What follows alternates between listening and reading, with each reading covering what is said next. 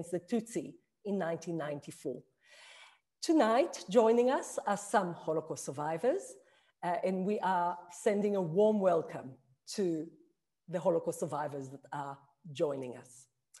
It is a great honor to uh, partner for the first time with YIVO, the Institute of Jewish Research in New York. And you will hear all about YIVO if you don't know much about it from our first presenter, Jonathan Brent, the CEO of YIVO.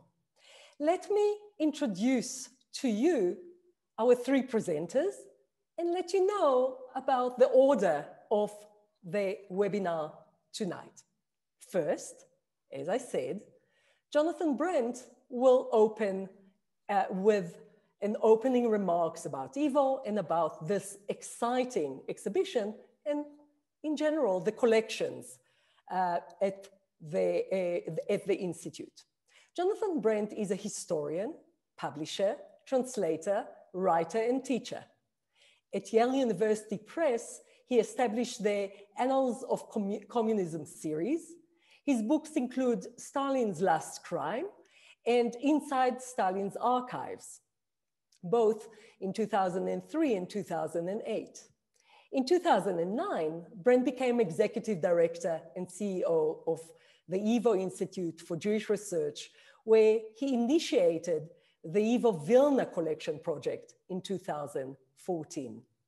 In 2019, Brent received the Cross of the Knight of the Order for Merits to Lithuania by His Excellency Dalia Grybauskaitė, President of the Republic of Lithuania. Brent lectures and publishes widely on Jewish, Soviet, and East European history and teaches at Bard College. It is wonderful to welcome you, Jonathan, and Jonathan will be the first speaker tonight. After that, let me introduce to you Karolina Ziulkoski. Karolina is a new media artist and designer and is currently the chief curator of the YIVO Bruce and Francesca Cernia Slovin online museum that we will hear all about tonight. Before that, she developed interactive exhibitions for the American Museum of Natural History. She is a principal creator of Daemo, a self-governed crowdsourcing marketplace, a project of the Stanford Crowd Research Collective, and served as an adjunct professor at Rutgers University Visual Arts Design Program. Uh, Ms. Ziulkoski is the recipient of numerous awards, including an Inovapps Award from the Brazilian Ministry of Communications, a Communications Art Interactive Award, the 2017 shortlist for the Fashion and Beauty Clio Awards, and recognition as a professional notable at the Core 77 Awards. And uh, you are in for an amazing, amazing uh, look at this new, I would say, award winning, uh, future award winning um, exhibition that Karolina was so heavily involved in. After Karolina, we will welcome Michael Leventhal. And here we are so honored to have actually the son of Beba Epstein that the exhibition is all about. Michael Leventhal specializes in providing corporate intellectual property and business eh, transactional services for media entertainment and technology companies, as well as general businesses. Michael has been a partner in a large national firm, a co-owner of several boutique law firms, and a business consultancy, a solo practitioner, and a senior executive at a high-flying technology company. Most recently, Michael served as chief legal office and vice president at Magic Leap Incorporated, the well-known augmented mixed reality venture. He's a frequent speaker and a writer on XR, tech, and startups, but tonight he will not speak about law or about startup or augmented reality. He will just speak about his mother, Beba. So it is absolutely wonderful to welcome Jonathan, Karolina, and Michael. The floor is yours.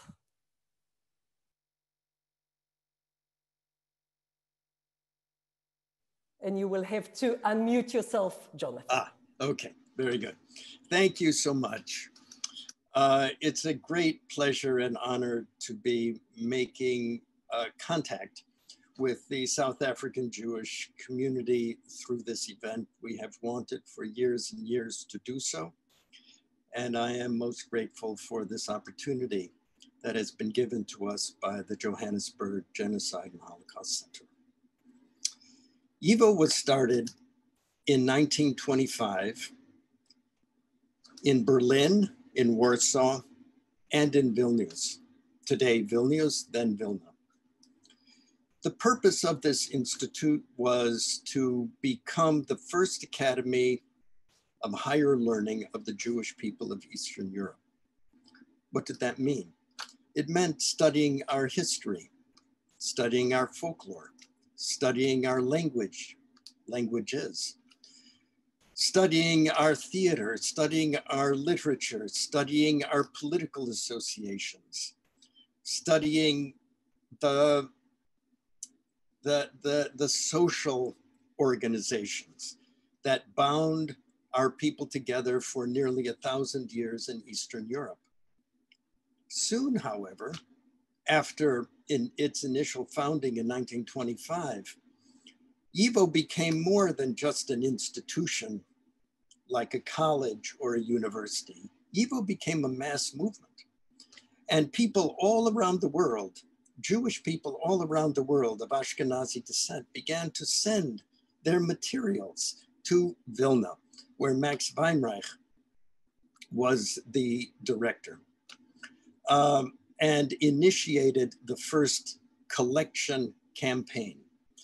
Because how do you study the people if you don't have the books and the documents and the music and and all of the artifacts of their lives and so he sent out a call send us everything send us everything. And so uh, people in chicago illinois sent material to vilna. New york buenos aires moscow uh, uh, uh, China, Japan, the Middle East. Uh, YIVO's collection uh, has eventually grown to some 25 million documents and artifacts and approximately 400,000 books in various languages. The materials that we have in our archives are in Yiddish, in Polish, in Hebrew, in German, in Russian, in uh, Arabic, in uh, Romanian, in Lithuanian, uh, in Chinese, in Japanese, all the languages of the world, and everywhere that the Jewish people from Eastern Europe went and made their lives. And so YIVO became a center uh, of, of great learning and a repository, a very precious repository of this, of this history, of this historical memory. In 1941, when the war broke out in the Soviet zone and the Nazis uh, invaded, YIVO was seized by the Nazis. Uh, and uh, instead of destroying everything, recognizing the great treasure that now had fallen into their hands, the Nazis decided to send a great deal of material to Germany, to Frankfurt, where it would be studied. They destroyed a great deal. And at the same time, a group of very heroic uh, men and women Jewish men and women of the ghetto who had been enlisted by the Nazis to sort this material because it quickly became apparent that the Nazis couldn't read these documents.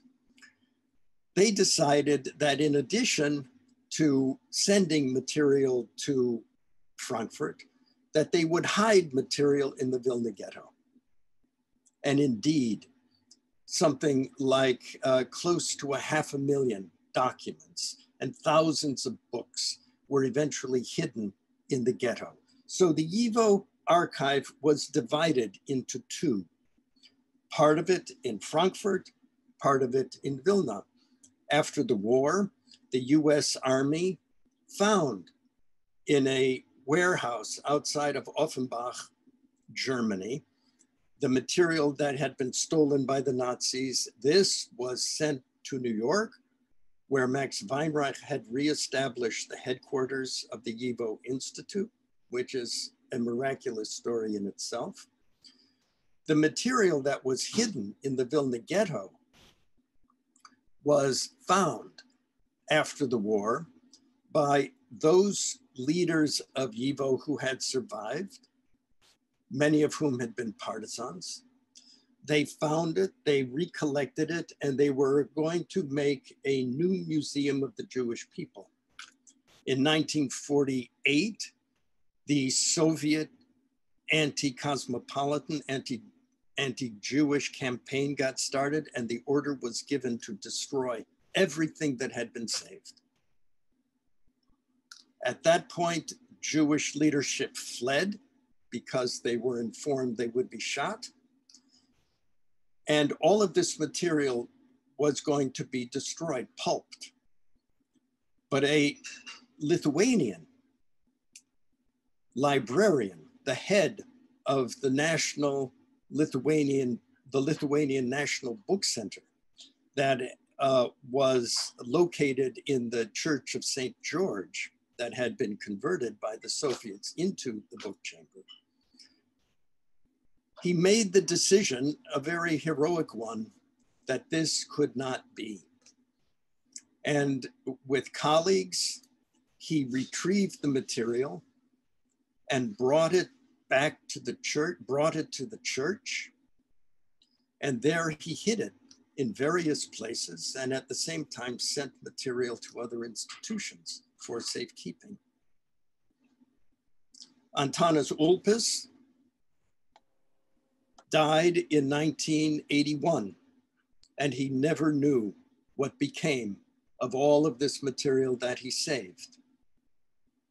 But in 1989 and then again in 1991 with the collapse of the Soviet Union, Lithuanian officials began cleaning out the church and they discovered this massive amount of Jewish material.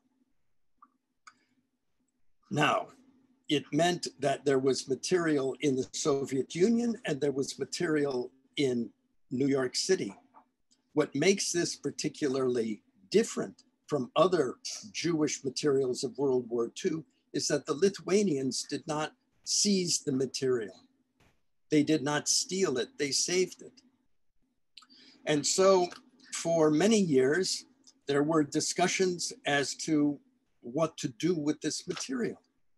When I became director of YIVO in 2009, and partly owing to my um, work in the Soviet archives, I realized that it might be possible to recreate as much of the original archive as possible digitally and uh, thereby create an integrated uh, and coherent uh, collection.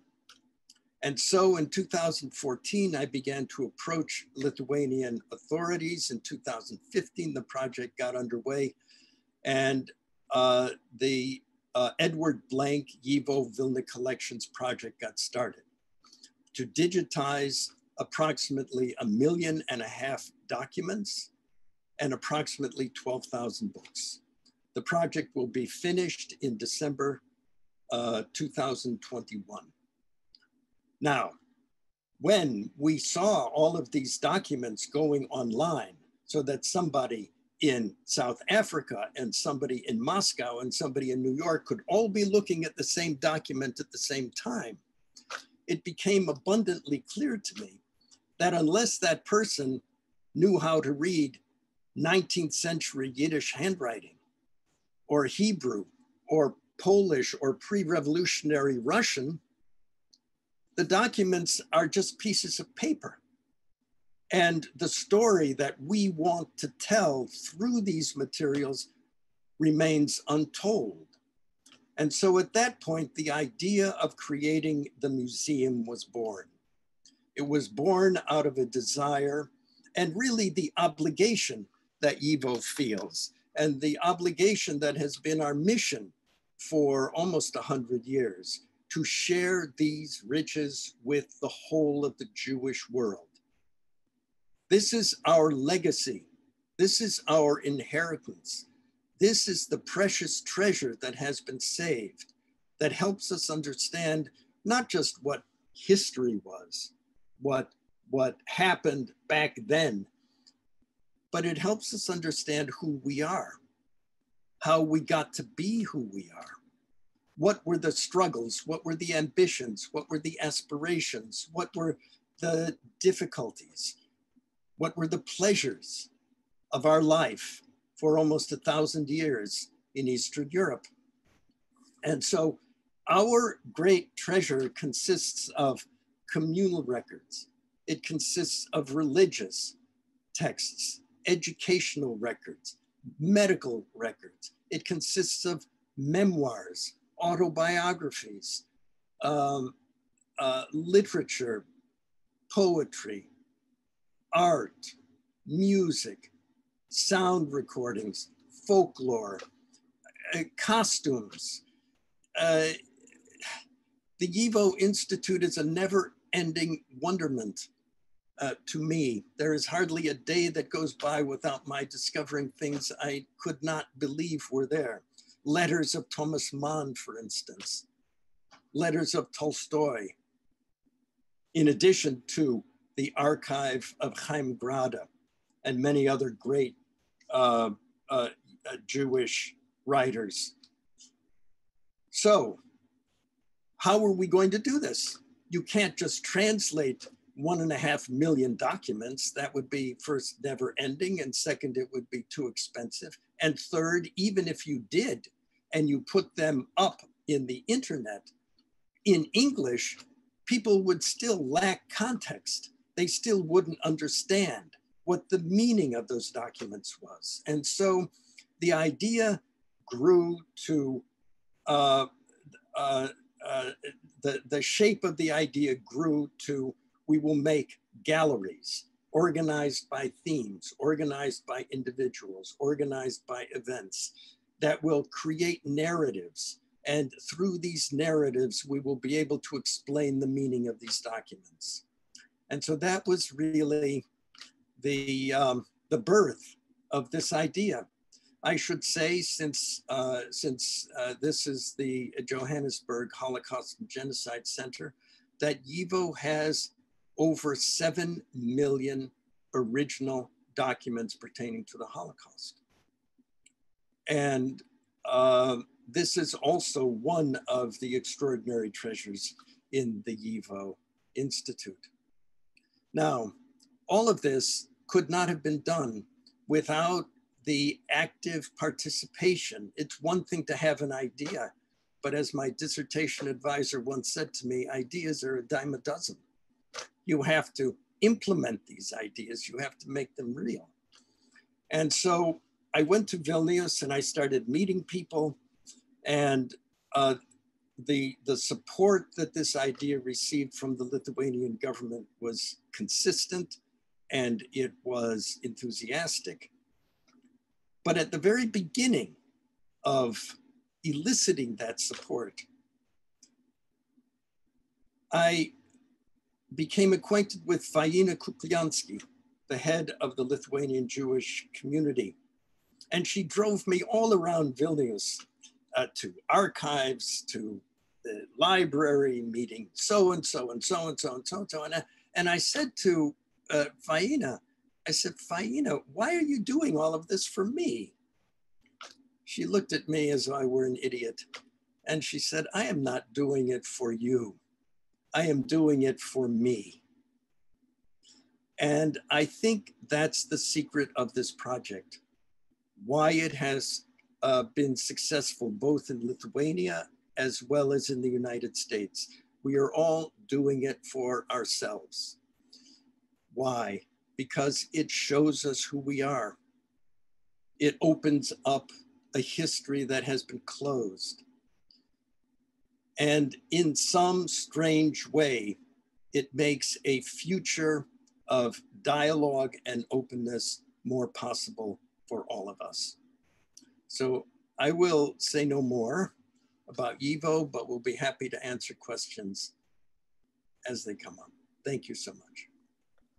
Thank you very much, Jonathan. And please do post your questions in the chat or comments or thoughts as we go along.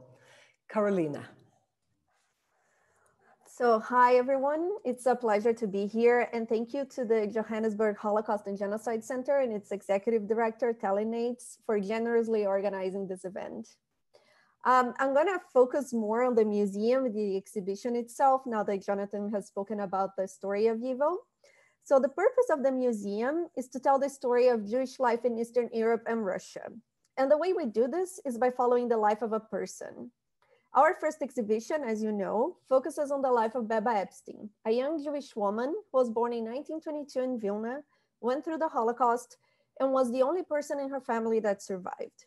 So the basis for this exhibition is her autobiography written when she was around 11 years old and found in 2017 in Vilnius, Lithuania.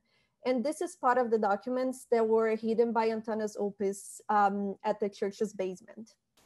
And from the autobiography, we expanded into her whole life. So the idea is that by following a person's life, you can learn about many different topics.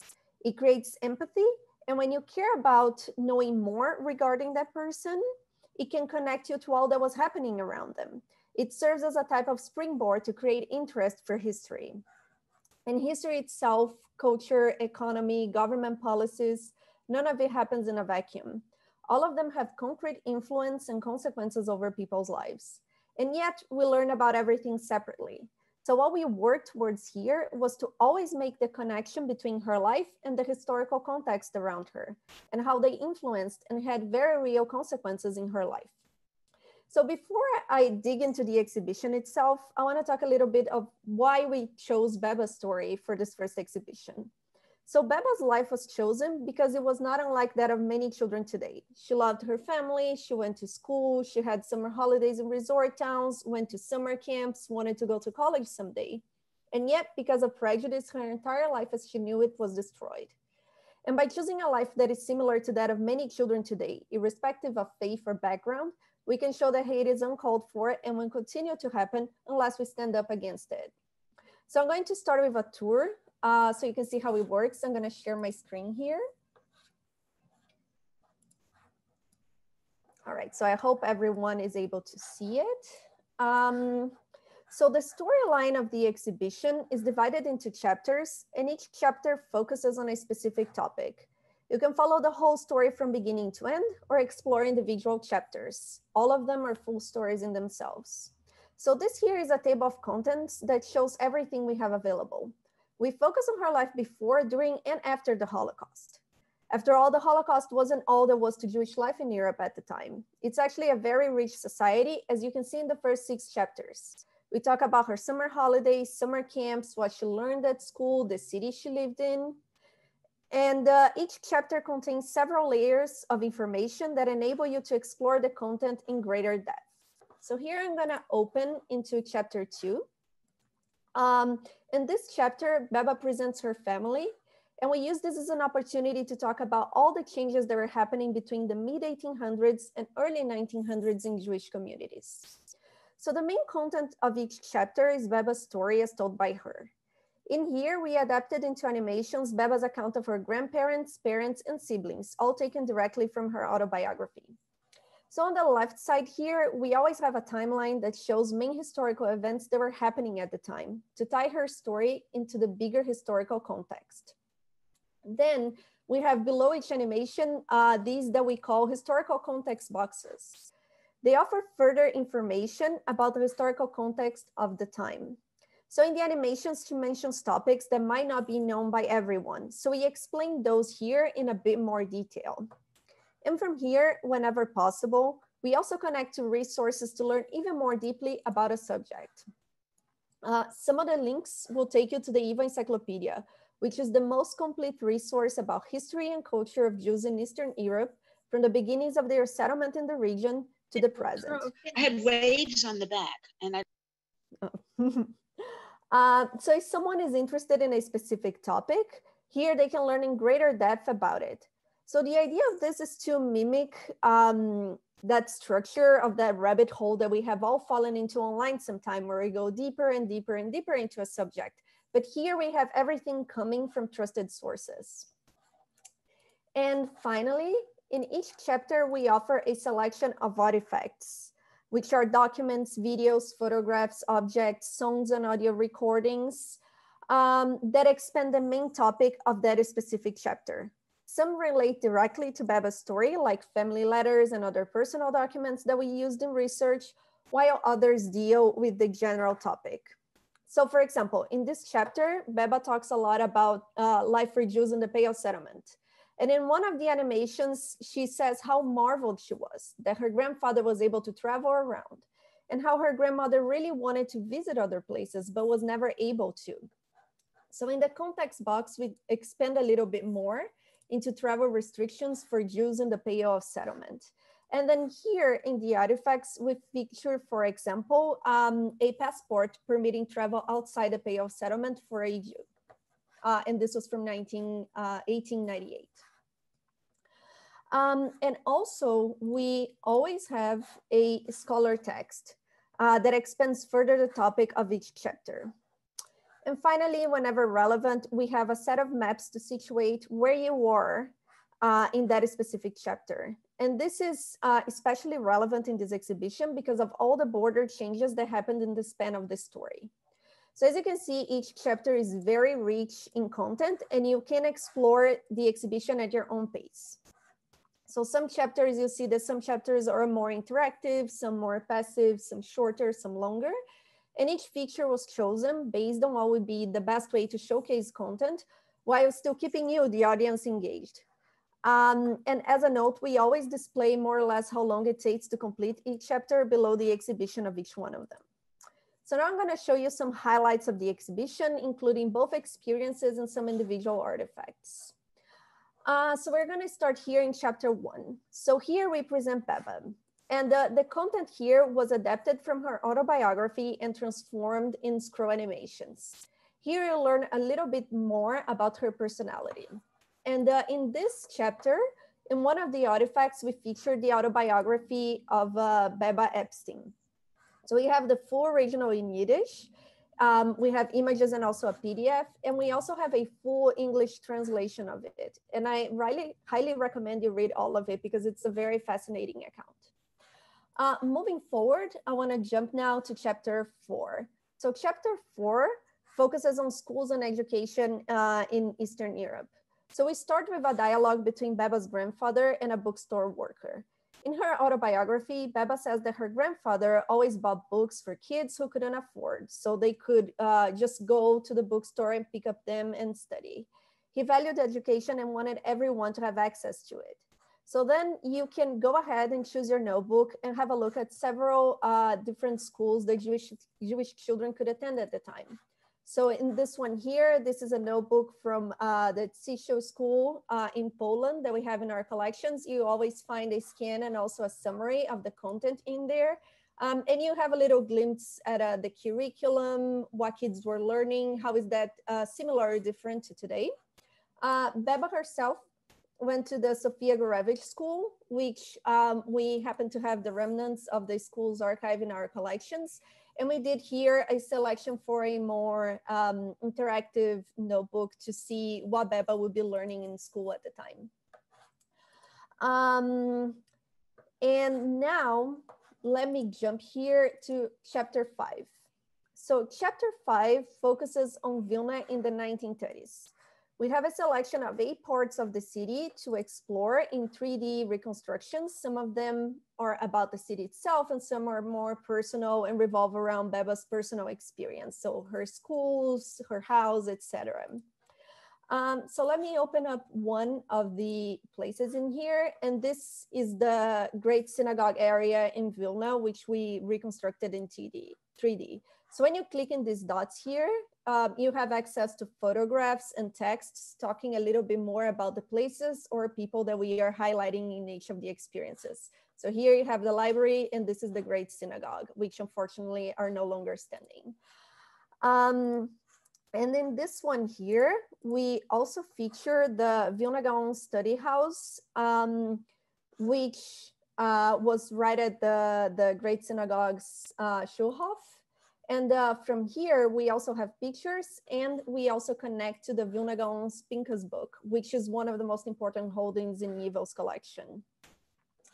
Um, another 3D experience that we feature is the market hall, which is still standing in Vilnius today. And this here is little Beba, and she's waiting you to buy ingredients to bake. So when you click here, we offer some pictures. Um, this is from 1929. Um, and this is another uh, picture of a busy market uh, that was an outside market next to the main building. And here we have um, a recipe for hamantaschen for you to uh, bake it with beba. And this is from one of YIVO's China Online uh, classes. And this is something that we try to do in the museum a lot, which is always connect to a lot of the other things that uh, YIVO does. We have several events, classes, etc. And um, this is a way for you to start exploring the YIVO world. Uh, so then if you get here, we also made, this is a reconstruction of the outside market, for example. Uh, so there is um, a lot to explore, a lot of places in the city to visit, uh, just in this chapter alone. Um, and coming back here to the main page of uh, this experience, we also feature several artifacts about uh, the city of Vilna, which was a very important center for the Jewish community in Europe. Um, so for example, we have, this is a drawing of Jatkever Street. Uh, this is a poster for a, for a Yiddish theater presentation. This is a picture of a scene from their book um, from a theater troupe presenting it. Um, and we have a little bit of everything, even uh, notice of theft of cows from a home. Um, and then one very interesting one that I'm gonna play a little clip for you here. This is a video clip from 1929, which shows a little bit of the old Jewish quarter in Vilna. We have several video clips throughout the exhibition where you can get a, a glimpse of life um, at the time. Um, so then from here, I am going to show you a little bit of chapter seven. So chapter seven focuses on the world context leading up to the war. Um, it's also a 3D experience where you can select one of many, general, many places around the world. And we talk a little bit about the economy and um, immigration practices that are happening at the time. Uh, it's unfortunate that a lot of what's going on in the world right now is very similar. So the world, uh, the world right now. So the world was going through a Great Depression, and as a result of that, um, everyone around the world was closing their borders to immigration, especially Jewish immigration. One of the countries we feature is South Africa. And here we talk a little bit about the economy and restrictions imposed on Jewish immigration in the 1930s. Um, we try to go a little bit all over, so you're free to explore more later. Um, so then from here, we go into the uh, chapter regarding the Holocaust and Beba's experience in the Holocaust itself. Uh, so this chapter is based more on texts, documents, and testimonials, and is divided into four parts. And whenever a relevant historic aspect is presented by Beba, because the main account is through her words, um, we expand into the historical context in the boxes. So for example, we start with the occupation of Vilna by the Soviets in September 1939, following the uh, Ribbentrop-Molotov Pact. So here we talk, we use this box to talk a little bit more about what set off the war and uh, this pact that was done a little bit before the invasion, the German invasion. Um, and soon later, the Soviets transferred Vilna to Lithuania, and Beba mentions how they had to now speak Lithuanian in school and how the city was renamed Vilnius and everything changed. However, at this point, life moved on in the city um, and they thought that things would be all right. And we even found in our archives a family letter where it's mentioned that Beba was planning a trip to Minsk in the summer of 1940. So from here, we go into the second part, and this is about the German invasion of Vilnius, which happened the day after Beba's high school graduation.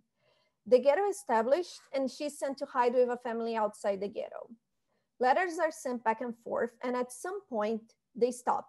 And Beba goes back into the ghetto only to discover that her whole family had been murdered. She takes various jobs and stay there until the ghetto is liquidated. Um, and here we always uh, make a selection of archive pictures and objects that are relevant to the story that we are telling. And we also intersperse with some of um, excerpts from Beba's testimonials that she gave to the Los Angeles Holocaust Testimonies Project. Um, she was also part of the Jewish resistance in the Vilna Ghetto. Um, and then from here, we go to the third part, which focuses on the many places she sent after. So she uh, is sent to several concentration camps um, and also to a factory that used the labor of Jewish prisoners. And in 1924, she ends up at Stutthof, which I believe renders some resemblance to the experience of some in the South African Jewish community. This is uh, what we believe could be her entry in the Stutthof logbook. logbook. The dates and names are a bit different, but uh, it could be her because there is a lot of similarities. Um, and she stays in Stutthof until the end of the war. She thought she would, she says that she thought she would never survive. Um, she was not part of the death march of Stutthof because she was sick and she was taken into boats in a German attempt to evacuate the camp in May 1945. I'm not going to go through everything because it's a lot, but I suggest you read the whole chapter later. She finally ends up in a hospital in Sweden at the end of the war. And uh, I just want to use this opportunity to make some points as to why her story is very interesting for Holocaust learning specifically. So first of all, she's a girl who goes through this by herself. So it is, although extremely sad and heartbreaking, also empowering. And uh, this is not to say that she didn't receive any help and that she wasn't helped throughout, that she didn't help anyone throughout the way. But uh, there is no savior in her story, which is the experience of the majority of Jews during the war. And she goes through many diverse experiences, as I just um, explained, through the ghetto, hiding, several concentration camps, working in factories. And through her life, one can learn about several experiences Jews went through the war. And uh, it is also very real. There is no romanticizing of heroes or how she survived. A family hid her in their attic, but she knew they were being paid for it and she did what she had to do to survive. At some point, she and other women beat another Jewish girl because her behavior was potentially dangerous to the Jewish women around them, and they did it to protect themselves. Um, also in this chapter, we have a selection of artifacts pertaining to the war. As Jonathan said, we have a very large um, collection of Holocaust materials, which is the second, um, second only to Yad Vashem. So one of the objects we feature here in the selection, it's this one here, which is a Rosh Hashanah album made by the children of the Łódź ghetto. So they made this album to um, give it to the leader of the Judenrat, Rumkowski, and around 14,000 children signed it. Of those, we believe only around 2,000 survived the war. And another um, artifact that we have here in our collections, it's one of the logbooks from Auschwitz. So this is from block eight. And uh, when you see the pages, you see many names crossed out and those mean that these prisoners are murdered by the Nazis, which is the date that they left. Um, and this here um, is a visa that was issued to a family escaping Eastern Europe. So this was issued by Sugihara, which was the Japanese consul in Kaunas, Lithuania. Um, they escaped to Japan via the Soviet Union, and Sugihara is considered one of the heroes of the Holocaust because he acted on his own against orders of his superiors to help over 2,000 mostly Jewish refugees to escape Europe at the time. Um, and then um, we end the, um, the next chapter we are going gonna go through now is chapter nine, where we uh, go through Beba's immigration process to the United States. She was helped by her uncle Lazar Epstein, her father's brother, who lived in New York. So this chapter here is a detective game. You have to find clues and answer the questions correctly or you're gonna be stuck, just like an actual attempt at immigrating. And in the end of this chapter, let me just select here, we go through what would happen if she tried to immigrate today. Long story short, she would most likely not succeed. And this would be true for many other countries, not just the United States. Um, the last chapter, we go through her life um, after the war in the United States, and uh, we go through the beautiful life and family she built. And we close the exhibition with this beautiful poem by Noah Leventhal, who is Michael's son and a poet. And before I finish, I just want to say that we have uh, teachers guides where we um, give suggestions on how to use the materials. There are guides for grades three to five, six to eight, and nine to 12 with uh, many ways that you can use each of the chapters. So you can pick and choose, um, if you are in a classroom, you can pick and choose however you wanna do this. And um, so there is a lot to be explored. And um, I have to say that when the autobiography was found, we no one at YIVO had any idea that she had lived, uh, that she had survived, and even less of an idea that we had so many materials in our archives about her and her family. Because we uh, discovered them, that we also happened to have the archives of her uncle, Lazar Epstein, the one who helped her immigrate to the United States. He was a prominent member of the Bund, and uh, his archives were transferred to YIVO from the Bund archives. Um, and we found several family letters, all of her immigration documents, even love letters from her husband to her in, um, in his archives. So there were no preset ideas. The development of the exhibition was a process of discovery. And uh, this was all because a friend of Michael saw the autobiography with Beba's picture in the New York Times and told him, and we learned about her life after the war which is more or less the way that her uncle Lazar found out she was alive after uh, the Holocaust. She sent a letter to a newspaper. Her name was included in a survivor list that was read in the radio in Palestine. And a friend of Lazar heard and sent him a cable. So the point is that the museum is revelatory. It's not stirring around preset ideas. It's not a compilation, it's a revelation and we hope you access it. It's free, it's available online. And what I showed you is just a little bit of a lot of materials and content and experiences that we have available. You can explore at your own pace, stop and return whenever you like. And we just want as many people as possible to view it and to use Beba's story as the starting point to learn more about the broad historical context. Um, so that's it for now. And if you have any questions, please, I'm happy to answer them. Thank you. Thank you so much, Karolina. And will you be so kind as to post in the chat the link to the exhibition? Everyone is very excited. Yeah, absolutely. Uh, and uh, I'm sure they will explore it further after the webinar. And now it is a great pleasure to invite Michael, Beba's son, to tell us about his mom. Hi, everyone. Uh, first of all, thank you to the Johannesburg Holocaust and Genocide Center for this opportunity to speak to you. And thank you to YIVO for almost 100 years of work that has made all of this possible. Uh, my mother always had a strong connection with YIVO. My mother, Beba Leventhal née Epstein, was a complicated woman. She walked a difficult path for most, if not all, of her life. Some of that difficulty came from the world, some came from her. First and foremost, she was a survivor. Although she lived to be almost 90 years old, anyone who knew her knew that she was ruled by the four years, 1941 to 1945, starting when the Holocaust came to Vilna. She was a witness to one of the darkest periods in the history of humanity and experienced the worst in human behavior she was never able to escape the memories and it colored her view of the world and of its people.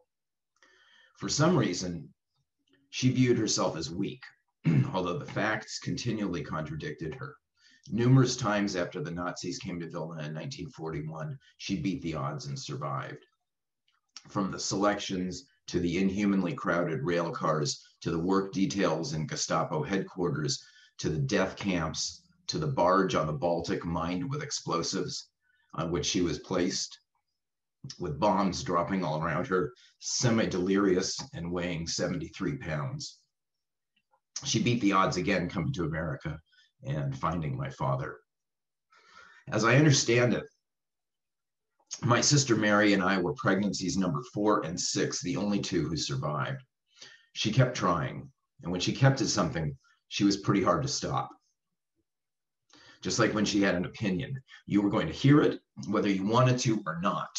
And she had lots of them. In 1966, my mother had breast cancer. She beat the odds again. She survived and thrived. It never came back. This in a community of Holocaust survivors whose ranks started thinning in the 1960s when catastrophic diseases and conditions started to take them. She taught me a lot uh, the importance of family, the value of knowing one's history, our Jewish culture, all about Vilna, her birthplace, the Jerusalem of Lithuania. She was proud of her family's involvement in one of the great Jewish publishing houses, Romm Publishing. I learned to love reading, married a woman who loves reading, and have raised two children who love reading. Like reading, I inherited a passion for music from both of my parents. My mother loved Chopin the most, although in later years, I think Mozart was gaining. Uh, she was incredibly proud of Jascha Heifetz. He was from Vilna, you know. Mary and I learned the piano as children, and, and that learning, although I did not become the concert pianist or conductor she hoped I would, has informed and enriched my life. Again, that passion for music has been inherited by our children. Those were the things she was able to do. Something much more difficult was for her to be happy. I always believed that she could not allow herself to be happy, that to be truly happy would be a betrayal of all of the of the family that she lost in the war. So in spite of the wonderful life that she and my father co-created for all of us, she had trouble appreciating it. She was passionate about Judaism, about Vilna, about Yiddish, about her friends, and most of all about us, her family. She loved us all fiercely, and you could see it in everything she talked about. Up to her last days, the same questions kept coming. How are you? How is your business? How about Sharon? How is Ariel like in camp? How is her volleyball? How is Noah? Is he getting ready to go to college? Can I read more of his poems? How is his girlfriend? Is she nice? Do you like her? When can I see her again? Her last big wish to me was sorry, her last big wish to me was, I want to come to dinner at your house. I regret that we could not make that happen, but I can console myself with the hundreds of times it did. In 2012, I lost both of my parents seven weeks apart. We were a small family on my mother's side because of the Holocaust. No close aunts or uncles, no cousins when you lose your parents, you realize very quickly that there is no one left to answer questions about family. There's no new information coming. You have to make do with what you have. Ask your parents, everybody on this call, ask your parents all the questions you can think of. So when five years after they both passed, suddenly this autobiography just magically appears out of the past with information about my mother that I never knew was just incredible. A gift from the universe we have a few items from my mother's early childhood, photos that came from someone of my mother, my grandparents, my aunt, all when my mother was maybe four years old or younger. After that, there's nothing until after the war when she was at least 23 years old, nothing in between. So to get this glimpse of my mother as an 11 year old, complete with a photo of a girl none of us ever knew, was and continues to be remarkable. And because of the YIVO archives, which hold artifacts from my great uncle, uh, who you've heard about, and my mother, and from Vilna in the 1930s, my family and I have been able to piece together much more of her life. It's an incredible gift, and we are eternally grateful. One strange insight was gained from the autobiography out of many. Uh, I, I loved my mother very much, but she was a hypochondriac. She would constantly attempt to get attention by being ill in some way. My experience with her gave me a low level of tolerance for that sort of thing in other people. Um, but we always gave her a break on it to some extent because we assumed that the Holocaust was to blame. Then I read the last lines of her autobiography. In my house, I am very loved, but I am not understood. Only when I am sick, then I am a privileged person. And I realized, oh my God, she was always that girl. it wasn't really the war. This was just who she was. I'm so proud that my mother's life story is, is out there now for people to see. It's remarkably well written and insightful for an 11 year old. And I, I know I'm biased, but I think if you read it, you will you will come to the same conclusion. I'm especially pleased for her that she can be your guide to the Vilna that she loved so much. I've been asked a number of times what I would like people to take from this exhibit aside from a, a glimpse into, uh, into an important culture that no longer exists, I hope people who experience the exhibit will internalize at least two important messages. One, as you tour the exhibit, lurking in the background is a, is a depiction of what creeping fascism looks like. It is horrifying in retrospect, but even more importantly, where I live in the United States and throughout the world, we are seeing a return to the ultranationalism and xenophobia that precedes fascist states. It is incredibly important that we have the skills to recognize things that are happening while they are taking place and not just in retrospect. The second lesson we can all learn from this exhibit is, and, and the YIVO archives is the cost of closed door immigration policies. My understanding is that somewhere in the YIVO archives, there was a letter from my grandfather to a brother somewhere in America in the mid 1930s, recognizing the rising danger and asking for help in getting to America. There was no response. Because of the US immigration policy toward Jews and Eastern Europeans at the time, they did not leave, were caught up in the maelstrom of World War II, and with the exception of my mother, all perished. Even after the war, and, and this you can see in the exhibit, my great uncle Lazar had great difficulty getting my mother into America. When the nations of the world close their doors to the afflicted, suffering is the result, sometimes on a mass scale again, we are seeing this in my home country of the US. It is my hope that through this exhibit, people will learn these lessons and we can begin to open our minds and doors. Finally, as a proud father, and, and uh, Karolina kindly uh, flagged this, and I want to flag again, on the last page of the exhibit, my mother, my, my son Noah, who is completing his master's degree in poetry, something my mother loved deeply, has written a beautiful contemplation on my mother, the meaning of history and time. Uh, it makes me cry every time I read it. Not that that seems to be that difficult anyway, but do not miss it. Uh, it is a beautiful piece. And that's really what I want to say. So thank you very much.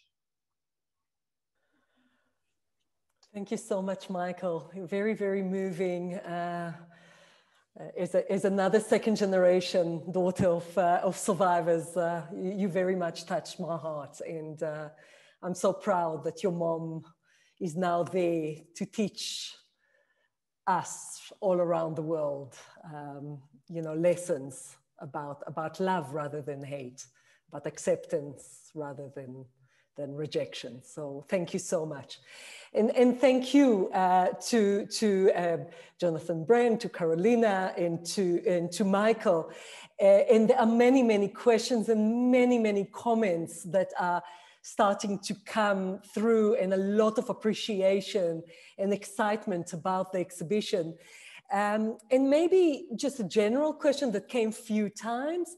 Are you planning uh, in post-COVID world to also have a physical exhibition in New York. Uh, maybe it will travel around the world. What are the plans uh, for the future? Well, personally, I when we were developing this exhibition, I always wanted to be able to do an in-person exhibition as well to follow up with the launch of the museum. And uh, I don't know. I mean, I have to discuss this with Jonathan, but this is definitely something that I would love to do uh, to do a physical exhibition with some of the artifacts that we have um, online. Yes, if I could follow up, we would love to do it. Um, but it will take a substantial uh, gallery to do it. And we don't have that space in New York City. As it is, uh, people from 82, I believe, countries around the world have uh, uh, tuned in to this exhibition. And we could not possibly reach people all over the world uh, in any other way than through digital means. Yeah, that's the silver lining, I think, of, of, uh, of uh, the pandemic sort of opened the world in, in strange ways. Um, so, so I, I, see Faina is with us uh, tonight. Hello, hello, Faina. So nice to see you. Uh, hard to believe you were in Johannesburg a year ago. Um, a, a, question that came to me privately, and that is an interesting question. Uh, um, Karolina, you spoke about the borders moving, and, and, and of course, Vilna was a Polish city until, uh, until the war. Did Beba see herself as Polish? did she see herself as Lithuanian? Well, that, um, yeah, that's an interesting question. Um, she was born in a Polish state already. So she was born in 1922. Uh, I'm not sure how she saw herself because this is not something that she speaks about in her autobiography. We do know that she went to school um, in Yiddish and Polish as well. This was a requirement of the Polish state, and uh, that she learned Polish history. Um, how much uh, she saw herself as part of the society is unfortunately a question that I can't answer right now. I, I can give you a little bit of insight into that. Um, she really did think that, I, I, think she felt that she was Polish. She did not identify as Lithuanian. It was not, it was something that kind of happened to her later on. Uh, but it's really interesting because her father was Russian. He was in the Russian army. Um, you, you know, because that was in the late 19th century and the early 20th century before the war. So then suddenly Vilna is Poland, then suddenly Vilna is Lithuania, is, you know, Soviet. And, um, and she never really knew the Lithuanian language, but she spoke Polish and Yiddish. I think, I, I believe that she felt that she was Polish, but, but separate, right? Other because, because the Jews were, you know, she was, she was Jewish first and she was, you know, she was Yiddish first and, and Polish second. And also just, yeah, sorry, just adding a little bit. Um, in the end of the exhibition, we added a document that was actually Michael that found it um, and forwarded it to us, which is her immigration and naturalization services card when she came to the United States. And uh, in that card, it says uh, citizenship stateless. And uh, this is a document that I find very poignant because after you go through all her story, you see how much she was a part of a community. And then in the end she was you know left over as just a stateless person when that's not true. She was a very active member of her community and very much a part of her city. Yeah and it seems that vilna was you know part of her you know part of her identity rather than the state. So um, her love to to the city was very very clear um, a really interesting question for you, and I think Jonathan, perhaps you you can answer that as you know about the archive. Uh, it's a question from from a teacher, a high school teacher, Jean Boissa. Um, he's a, a, a, he seeked refuge in South Africa from the Democratic Republic of the Congo, that is of course full of uh, terrible suffering and, and atrocities uh, to this day. He's thanking you for the brilliant presentation and he's asking how do we capture you know, uh, all those stories because of course in the DRC there is such silence by the survivors. So, so he's asking perhaps, can you give an advice uh, from the hundred years of collections about how do you even start? Uh, it's a wonderful question um, when Max Weinreich uh, announced that YIVO was going to start, people from, as I said before, all over the world wanted to give material. People of all ages. A very good friend of mine who taught um, literature at Yale University, Benjamin Harshav, was such a Sammler, a collector for Max Weinreich in Vilna. He was 11 years old at the time. And his job was to go into the marketplace and collect curses by women for Max Weinreich's dictionary and the study of the Yiddish language. And if the curse wasn't good enough, he would be sent back to improve upon it. My guess is that once you start collecting, it will catch on and people will realize how important this is. uh, Michael was talking about the uh, need to ask our parents. Well, my parents didn't talk very much. My grandmother didn't talk very much. I would get one word answers from one of my grandfathers.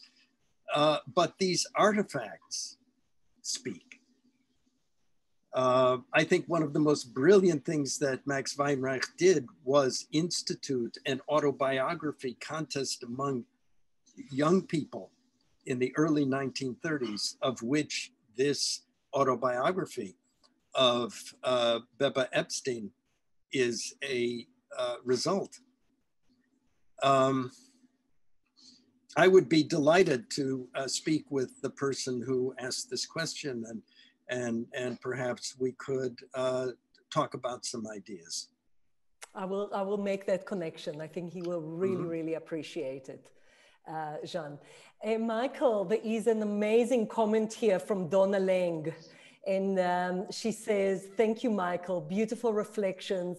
Uh, Beba was my mother's cousin and one of the only ones to survive from the Senitsky uh, side uh, of our uh, uh, of her family. But, uh, Beba and my mother were the same age and both grew up in Vilna. But my mother's family left for Montreal in 1930. She was so thrilled when she learned that Beba had survived. They stayed in touch throughout their lives, even though they lived in opposite coast in the US. And I think that is amazing. I don't know if you want to say something. Just, uh, you know, uh, uh, Donna and uh, my wife and I reconnected when we were in New York. Um, was last year I, time has no meaning anymore. So, but uh, when we were most recently there, it was really uh, lovely to connect and and to share memories. It's you know, it's a gift. Absolutely. Uh, there is a question uh, about the new museum in Vilnius. When is it going to open? Are you involved in any way? Uh, we are not involved. Um, we will happily support every worthy initiative, but we cannot uh, become involved in the creation of of uh, institutions in different localities. I think it's a huge mistake uh, and we're not going to do it. But if people would like to consult with us, we're very happy to offer what insight we can. Fantastic. And there is a question here about the artifacts. There are amazing artifacts. Uh, and uh, and people want to know more. I mean, where where are they from? Uh, can you see them? Is it the first time that uh, people can see them in this way? So maybe you can speak a little bit about the artifacts. Yeah, so um, some of the artifacts are, uh, a few of them that we have in the exhibition are located in uh, Lithuania. Um, the most prominent is Beba's autobiography, which is in Vilnius. Um, but the majority of the other documents are part of the YIVO collections that are in New York City. Um, they are not on public view. Um, they are available for research. Um, not all of them, unfortunately, some of them are closed for digitization. But um, you're free to explore all, all of them in the exhibition. They are scanned, and we also always offer a summary in English, uh, translation of what is in each of the documents. Uh, and there's over 200 of them in the exhibition, so you're free to explore as much as you like. That's amazing. That makes it so rich and, and, and fantastic. Can you tell us a little bit about how long did it take you to create the exhibition? Um, the difficulties, maybe the challenges, what to include and what not to include. And, um, and maybe, Michael, how did you feel when you saw it for the first time after it was sort of done? So these are the kind of questions coming through. Yeah. So regarding development, it was around a year and five months that we spent working on it. Um, and yeah, there is a lot in the exhibition, uh, a lot of materials. And uh, I feel like, um, yes, it was a challenge because obviously the YIVO archives holds more than 23 million artifacts. So obviously this is always um, a difficult task to go through.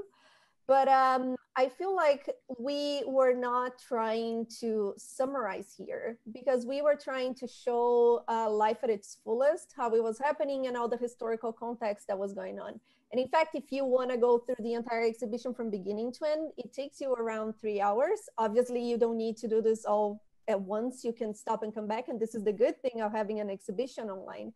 But uh, we try to put as much as possible to give a full picture of such complex things that were happening at the time. So we go through, you know, the Pale settlement, the Russian Empire, the Russian Revolution, the First World War, the Second World War. There is a lot that goes on in the span of the story. And uh, we think it's important to put everything out there. So if you want to learn more, you're going to learn from a place that has um, information that is vetted, that um, is reviewed by scholars, uh, so you can make sure that what you read there is going to be um, information that is relevant and not, you know, in the world of internet today, you find so much fake news and you don't know what to believe anymore. So we wanted to make a resource that you can trust. So this was very important and one of the most important parts of the project for sure. Jonathan, before Michael, any anything to add about the process? Well, the hardest part of the process was to get people to believe that we could do it, uh, to get people to believe that it was important to do. Um, uh, and um, uh, this uh, I found to be a somewhat daunting uh, task, but I was aided uh, considerably by putting up a um, PowerPoint on the back wall of our uh, boardroom uh, of documents. And I asked members of our board how many of them could actually read these documents. And the answer confirmed for me the need of this uh, uh around the world. Uh, you know, my father spoke Yiddish my grandparents were fluent in it. I was not. I was not. Um, which means that that whole culture that is reflected in the Yiddish language and in these other languages is just inaccessible. It's remote. You know, uh, if an Italian person wants to find, born in the United States, for instance, wants to find out about what it means to be Italian, he can go to Rome or she can go to Florence, or she can go to the Leaning Tower of, uh, uh, you know, where do Jews of Eastern European origin go? There is no Rome. It was wiped out. How do we recover who we are? And so uh, that to me was uh, the message I had to uh, get uh, accepted and understood. And so to me, and then of course raising the money. But that actually proved the easiest part of it once the idea, the conception of it, the inception of it uh, took hold. Amazing. Michael, how did you feel? What was the experience for you and your family? You know, it was just the most remarkable thing. It was just, you know, as I said, it just kind of just dropped out of the sky on us. And we really, you know, we'd come to terms with, you know, not really getting to know more things about my mother.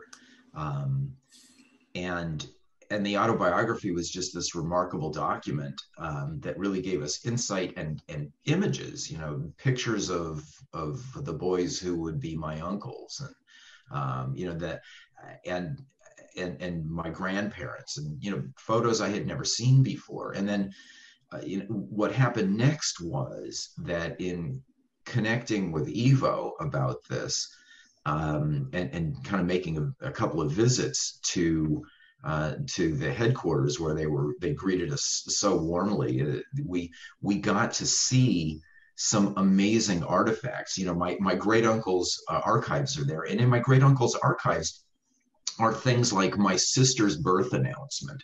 There, there's like a postcard that I sent to my great uncle when I was 12 from a vacation. You know, there's all this stuff that, you know, that he had saved.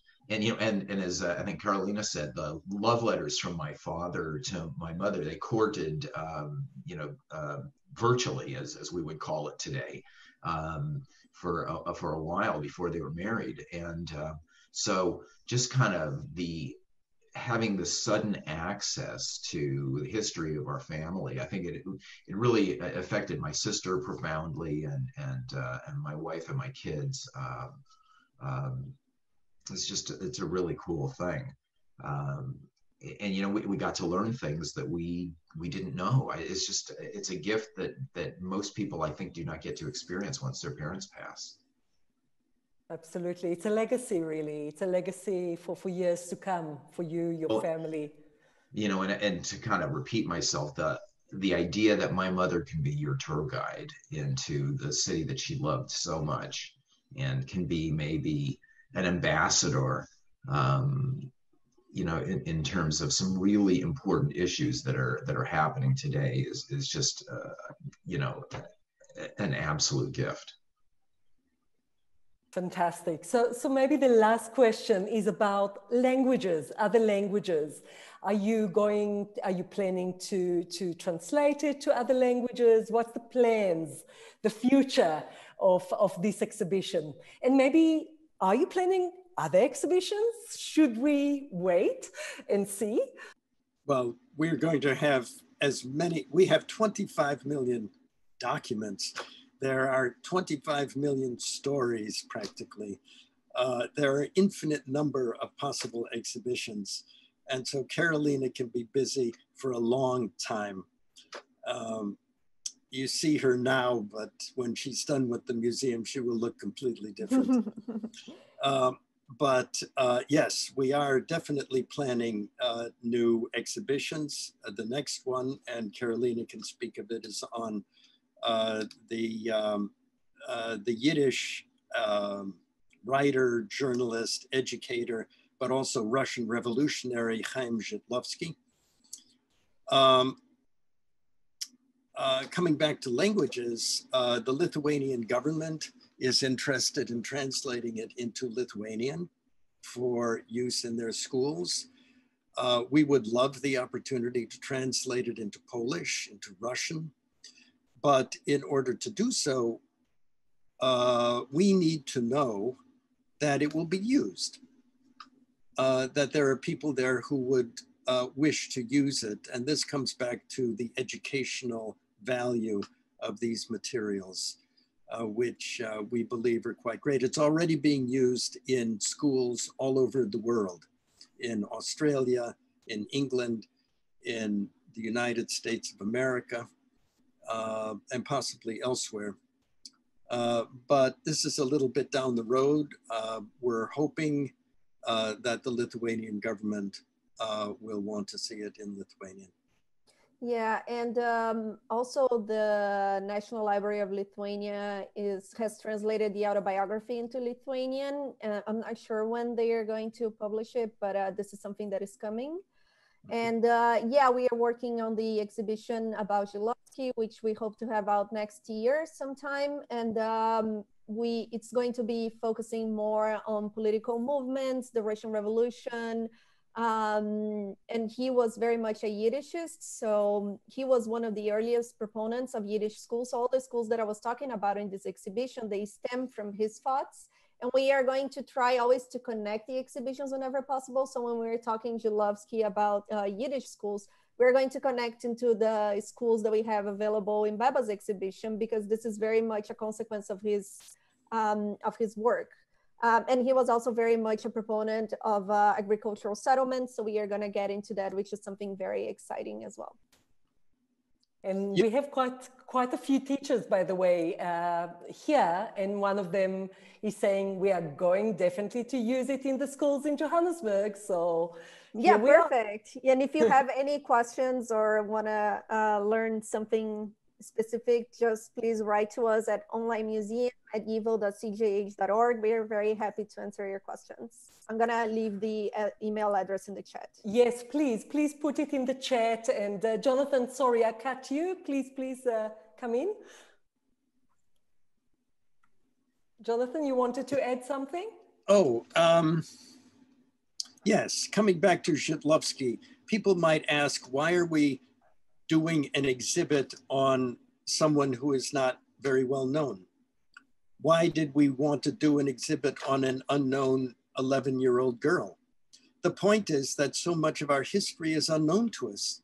So many of these people, first of all, were, were, were lost uh, because of the Holocaust. But uh, unfortunately, uh, so much of our self understanding is shaped by Fiddler on the Roof and shaped by one or two uh, authors uh, that we all know, uh, the Dybbuk. Uh, but there was a huge life in our people, a huge, brilliant civilization. And this is what uh, we hope to be able to reflect in all of the exhibits.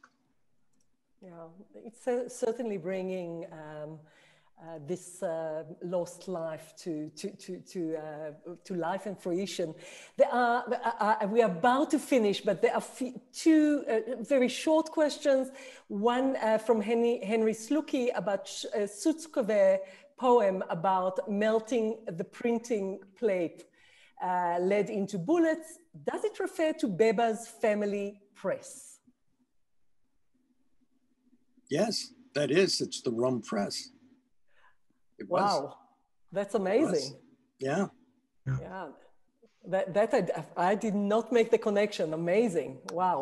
Yeah. And for, for those that don't know, uh, I mean, maybe tell tell those that don't know who uh, was and uh, I think that will be quite important. So Karolina or Jonathan?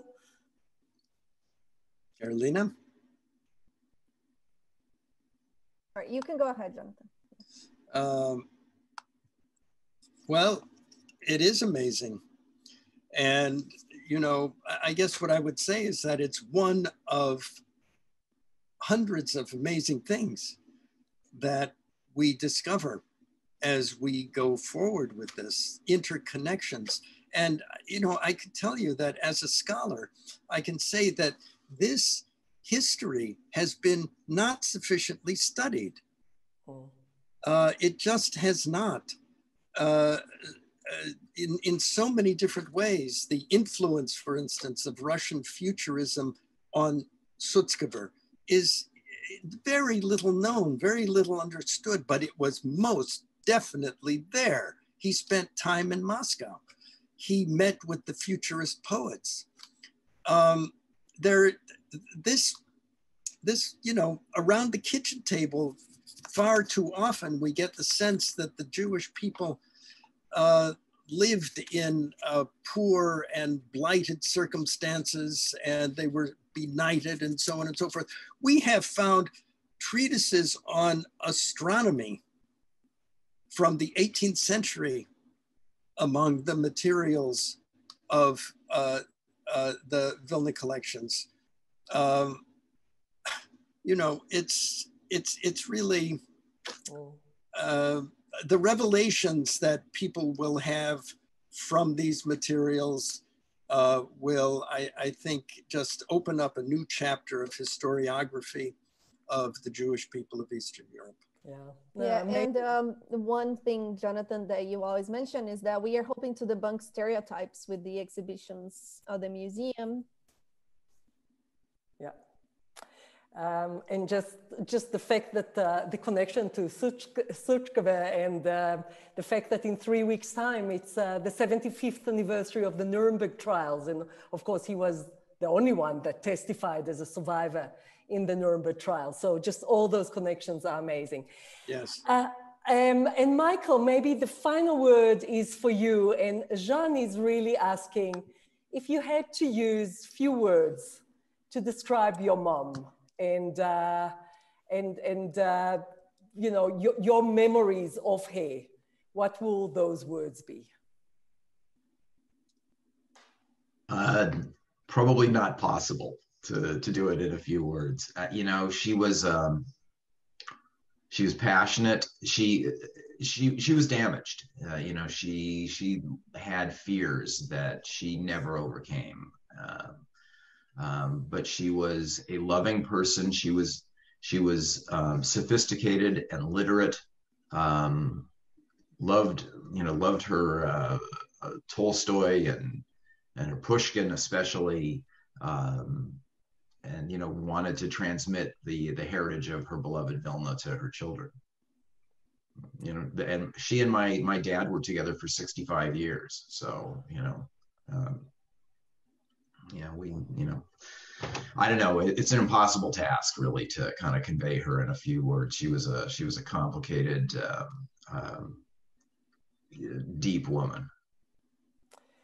And we invite you all to to know her a bit better through exploring the exhibition and uh, looking at the many, many videos that are embedded in the exhibition from her testimonies to the Los Angeles uh, Testimonies Project and uh, just learning more about, about this life, this city, uh, this period, and uh, just to thank so much uh, Jonathan Brent, Karolina uh, Zulis, and Michael Leventhal.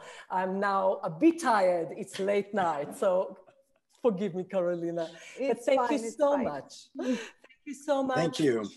Thank you. you very much. Uh, absolutely. And uh, someone is asking, it was recorded. The recording will be available in a few days and will be sent to you if you registered to uh, to this uh, webinar. You will get a recording. You will get again uh, the link to the website and uh, you will be able to watch this webinar again and explore the, uh, the links again.